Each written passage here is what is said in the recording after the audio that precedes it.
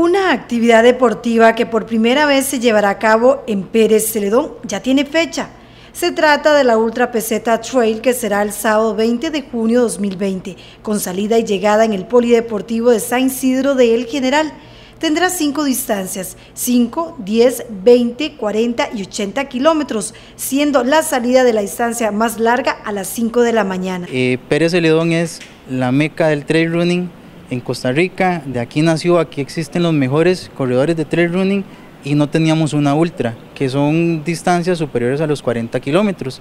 Eh, Chirripó fue la primera carrera y nos quedamos en carreras de 34 kilómetros Chirripó y otras que van de ahí de 21, 13 kilómetros, Reto de las Aguas Eternas y otras, pero nunca hemos tenido una ultra. Esta va a ser la primera en Pérez Celedón y en la zona sur. Va a haber muchos aptos porque metimos distancias eh, pequeñas como los 5K, los 10K, ya vienen 20K, 40K y 80K, que ya, esas distancias, como sabemos, tiene que ser gente que esté un poco más preparada y que esté más, eh, más eh, tiempo en correr y ojalá en el trail running, ¿verdad? Porque ya lo que sí es 40 y 80 kilómetros, sí tienen una altimetría positiva notable, ¿verdad? que más de 2000 metros positivos, entonces sí es importante que tengan experiencia haciendo trail running. Ya los organizadores están definiendo todas las rutas y los lugares que tendrán que correr los participantes.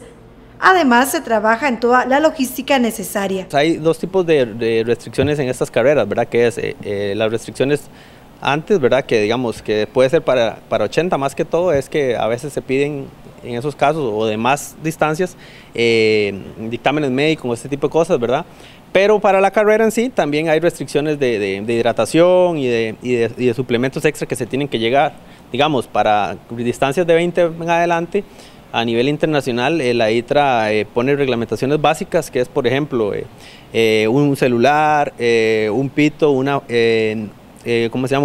Una, una, sábana térmica, ese tipo de cosas que van a estar estipuladas en, el reglamento. Entonces eso va a estar muy claro y también vamos a estar reforzándolo porque eh, aquí en, la zona sur eh, las ultras no son tan comunes.